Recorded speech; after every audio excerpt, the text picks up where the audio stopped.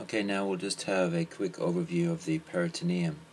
So the peritoneum is a glistening transparent serous membrane that consists of two continuous layers. First is the uh, parietal peritoneum and this is the lining of the inter internal surface of the abdominal pelvic wall.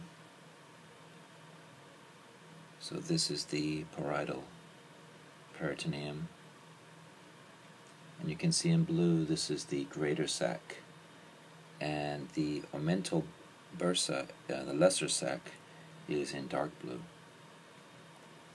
So uh, then we have the uh, visceral peritoneum, and also known as the investing viscera, and this covers the the organs.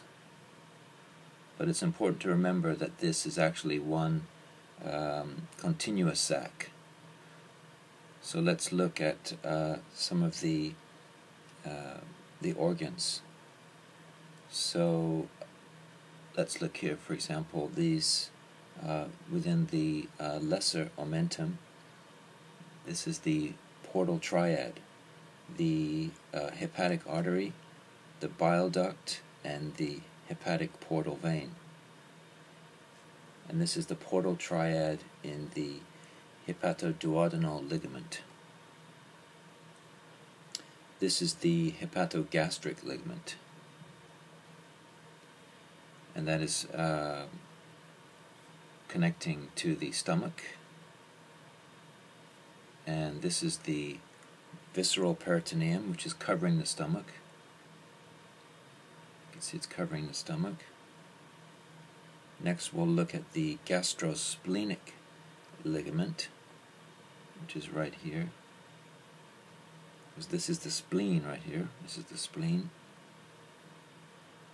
This is the uh, parietal peritoneum.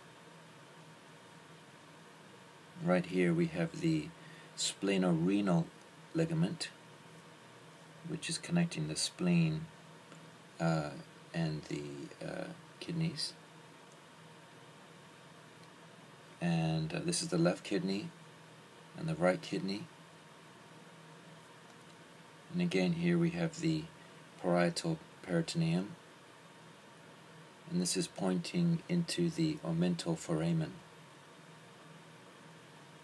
So th this overview just looks at the parietal peritoneum and the visceral peritoneum and we were focusing for example on the uh, portal triad which is the hepatic artery, the bile duct, and the hepatic portal vein.